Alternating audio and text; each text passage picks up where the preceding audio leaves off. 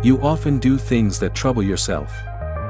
Here are 9 things happy people don't do to always be happy. You also need to avoid these things.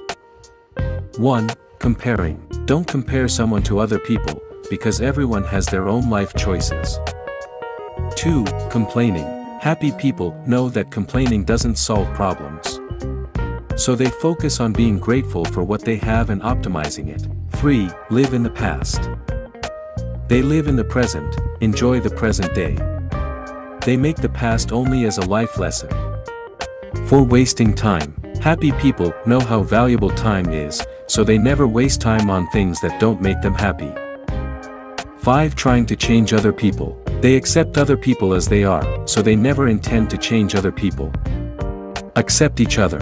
6. Worried about people's judgment. Happy people never pay attention to society's assessment of him. They live by self-assurance, not needing approval from others to do what makes them happy. 7. Overthinking. It is the root cause of stress, anxiety, and depression. For that, happy people usually do not think too much. He really enjoys life and lives life as it is.